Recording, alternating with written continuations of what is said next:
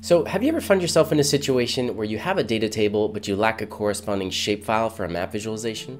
Or let's say you have a vector layer containing valuable data that you just want to merge with another vector layer to maybe consolidate information or simply gain further insight. If so, this video is tailored for you. So let's begin with a combination of a table and a vector layer. So here in this example, we will join this US counties vector layer with the corresponding population data that's stored on this table file. First, I'll load my vector and table layers into QGIS and then open their attribute tables to find the common fields for joining them. Naturally, they may have different names, but the information is really what matters. Once I've identified this common field, I'll open up the layer properties of the vector layer by simply double clicking on it. Next, I'll navigate to this Joins tab.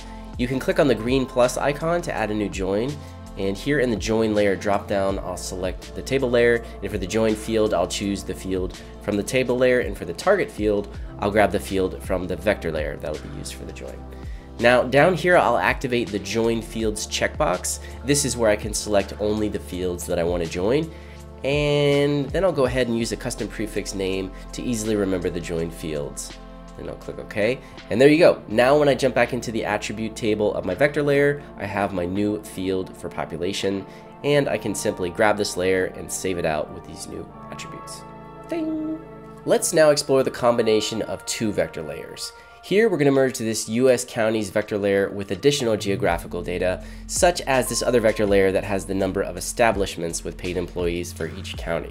Now I can accomplish this by either using the same type of join we saw previously or by utilizing the join attribute by field value function, which is going to result in a new layer containing the desired fields. First, I'll bring both of these vectors into QGIS and then have a look at their attribute tables to identify this common field that I'll be using to join them. Next, I'll go to the processing toolbox. If you can't see this, go to the processing drop-down menu and select toolbox. I'll search for join attributes by field value in the search bar and then double click on this to open it. Now for the input layer drop down menu, I'm gonna select the vector layer representing US counties, then I'll specify the field, and then for the join layer drop down menu, I'm gonna select the vector layer containing the number of establishments, and again specify the field here. Next, I'll go to this overflow menu and select the fields to copy, which is the total establishments. Now I'll choose a join type, but it's really important to understand what's going on here. So if it's one-to-one -one or one-to-many, it means there's either only one matching feature or multiple matches for one feature respectively. In this case, it's one-to-one. -one. However, if it's one-to-many, it will create as many features as matches exist in the join layer. And I can add another custom prefix name to easily remember the join fields. Now I'm gonna click run. Once this join is completed, I can open the attribute table of the newly created joined layer to just verify that the desired fields are indeed there.